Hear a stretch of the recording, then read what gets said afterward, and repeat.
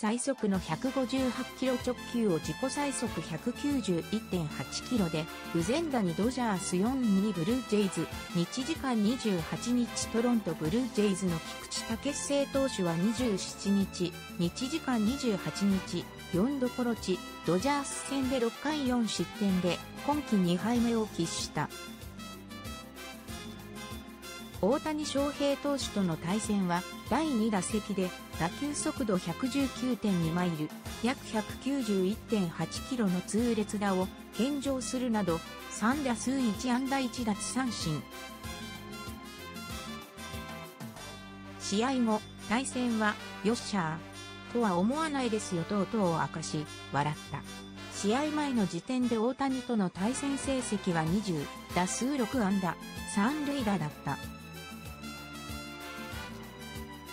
初回1死の第1打席は2ゴロに仕留めたが、2回1死、1三塁の第2打席は、追い込んでから内角直球を119.2マイルで弾き返され、不全敵時打となった。第3打席は空振り三振に仕留めた。大谷との対戦では、今季最速となる98.2マイル、約158キロを計測。取材に応じ、アドレナリンは彼が出させてくれた感じと振り返った。一方で、弾き返された打球も大谷の自身最速だ。自分自身も腕を思いっきり振ったボールでしたけど、投げた瞬間ライトに行っていたので、打球が速すぎて、ちょっと見えなかったと笑った。ドジャース戦は今季1カードのみ。登板が決まった時については、やった。対戦できるとは思わないですよとうと。すごいバッターですからね。やるとなったら、よしって感じじゃないですかと心境を明かした。これで対戦成績は23打数7安打で打率304、三塁打となった。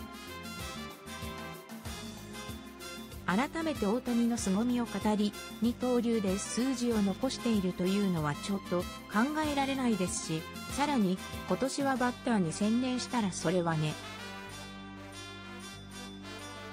疲労度合いも違うでしょうから、とんでもない数字がシーズン後に残っているんじゃないですかと予測した。僕はピッチャーしかやっていないですけど、投げ終わった後3日間くらい、体使い物にならない、筋肉痛で2、3日は動けないんですけどと、自らと比較。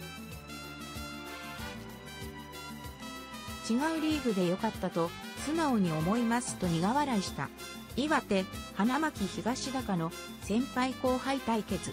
まさに幸せなことですよ。岩手のみんなも久しぶりにね映るよって電話くれたんで、